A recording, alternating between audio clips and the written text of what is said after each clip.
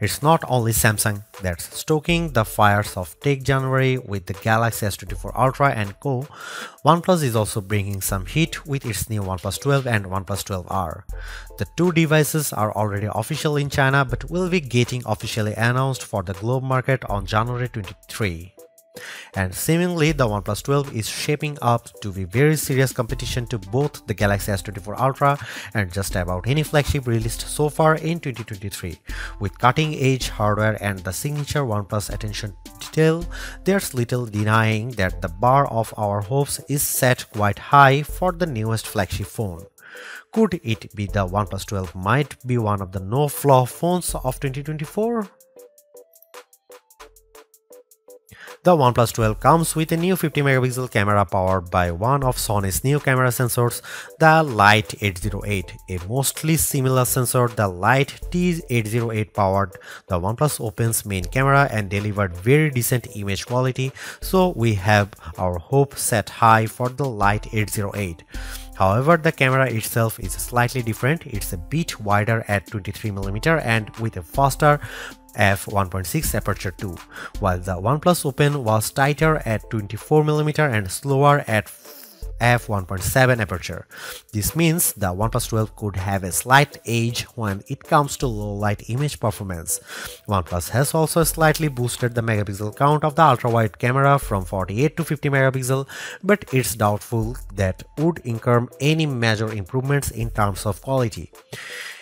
A trove of image processing and algorithm improvements is what could potentially improve the quality of the ultra-wide shots. Finally, the most importantly, a telephoto camera with 3x optical zoom is finally back on OnePlus flagships.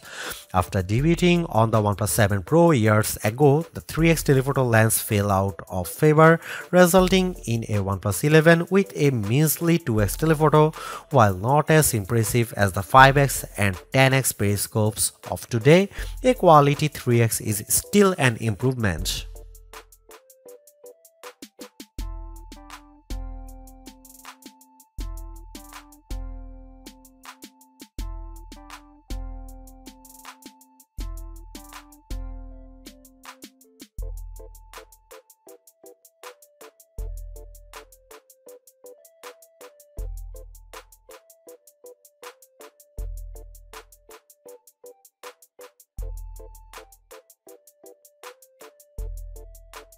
Equipped with a Qualcomm Snapdragon 8 Gen 3 chipset, the newest power plant slated for most Android flagships in 2024.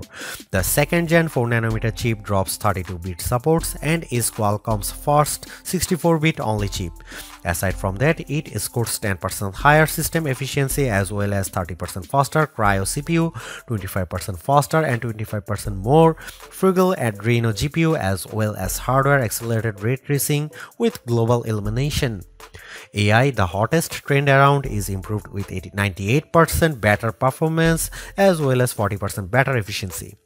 Overall, the Snapdragon 8 Gen 3 is a beast that will fit quite well into the OnePlus 12.